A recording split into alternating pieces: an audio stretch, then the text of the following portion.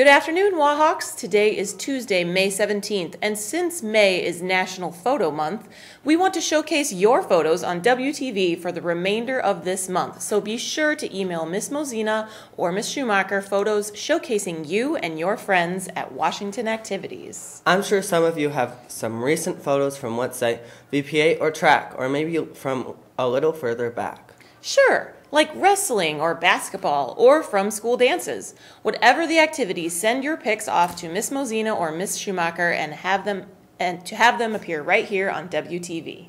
And now on to our announcements. Fellow Wahawks, please show your wash values when heading home from school. Each day, be kind to our school neighbors and stay off their lawns.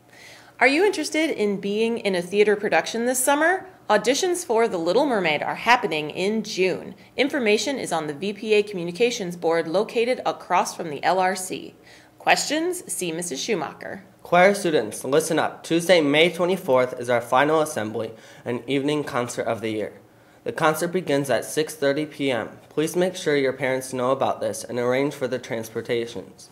Singers need to report to the band room at 6:10 p.m. and please wear all black. Don't forget to bring your energy and, and your smiles and your beautiful voices. It's going to be a great concert. If you have any questions or concerns, please see Miss Schramm.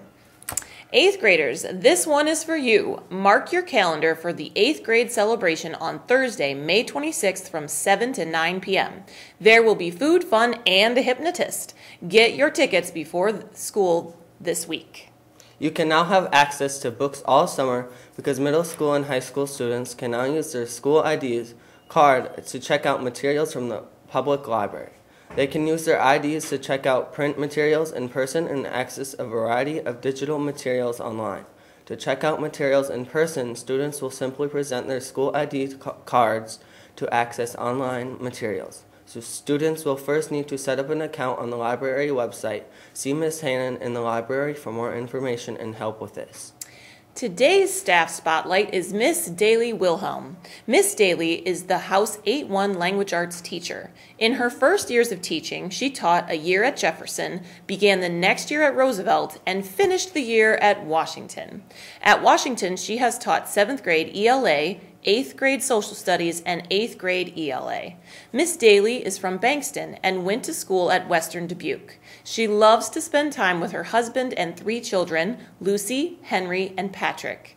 Miss Daly also shared that she especially enjoys traveling across the United States and internationally. Her top three favorite destinations are Ireland, France, and anywhere with a beach and 80 degree weather.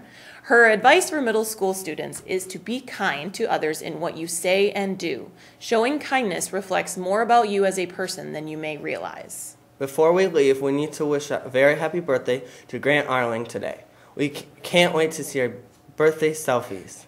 And that leads us to the thought of the day, which is photography is the only language that can be understood anywhere in the world.